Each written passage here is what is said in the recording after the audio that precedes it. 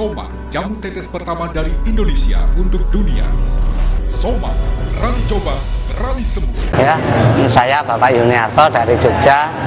Keluhan saya sakit asam urat sudah lima bulan, tidak ada sembuh-sembuh.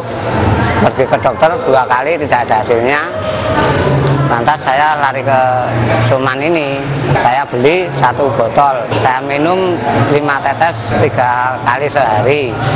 Setelah itu baru dua hari udah agak ada hasilnya lantas selama satu minggu udah sembuh Soma, coba, sembuh.